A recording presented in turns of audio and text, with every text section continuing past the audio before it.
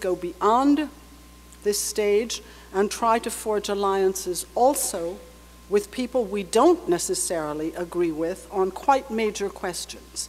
For example, with business. Only, this can only be accomplished by recognizing that disagreement and even conflict can be positive so long as the areas where it is possible to agree are sought out, identified, and built upon. We must find where the circles of our, of our concerns overlap. And at least one of these overlaps in the circles ought to be saving the planet. I don't see any other way of generating citizen enthusiasm, involvement, and qualitative, the qualitative and quantitative leap in scale that is now required. I won't have time to explain how this could be extended to the South, and I would like very much to work with people like Victor Menotti, who had so much to say about the international financial institutions and the kind of new international institutions that we would need. I'm going to stick to the American side because I'm in America and this is an American, largely American conference. But of course, this would not exclude the South and it would require also international institutions uh, basically changed. Nor have I time to say more about the content and the financing of the necessary environmental investments. But what I can do is assure you that conversion to an ecological economy is technically feasible. The schemes for new taxes have been thought through. They're in the boxes. We know how to do this. this. The prototypes already exist for new industrial products, for lightweight materials, for renewable energy. The machinery is ready to hum into action the moment people can make their politicians accept the challenge. Capitalism is not sane in the sense that most people understand sanity. We humans normally think about our futures, the future of our children, and often the future of our country and the world.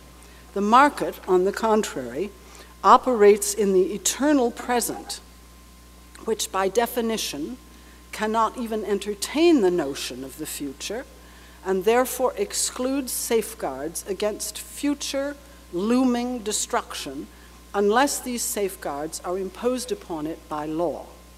We need law for sure, and political forces with the backbone to propose and to vote that law into existence. But we also need to think about human motivation Remember the prestige of the dollar a year men of the 1940s and imagine what, it might, what might happen if we could transpose it into the world of 21st century capitalism. A significant number of contemporary captains of capitalism, all of them with bloated, unimaginable salaries, might come to believe that money is all very well, but is there nothing more?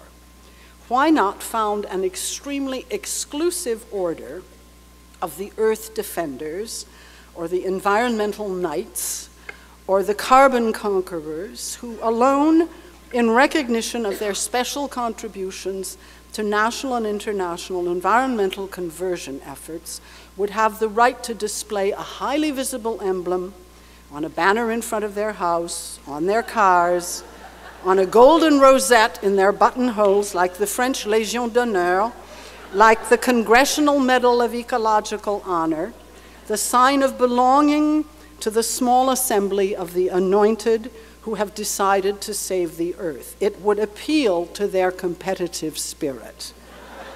finally, finally, and this is my last point myth has always been the driving force of every great human achievement from Greek democracy to the Renaissance to the Enlightenment to the American and French revolutions. So it must be in the coming age of ecological stewardship. If we want to change and change fast enough the way the majority thinks and acts, we must start with the social forces that we have right here and right now and no others. We can't dream about what it would be like if we had different social forces.